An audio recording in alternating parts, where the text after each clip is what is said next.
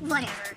Look, this was another guys' night out. We don't want girls here. Why don't you guys start doing your own thing, like girls' night out? Yeah, we don't need your freaking nothing around here. I'm sorry, girls, but it was my idea to invite you here, but you set this up.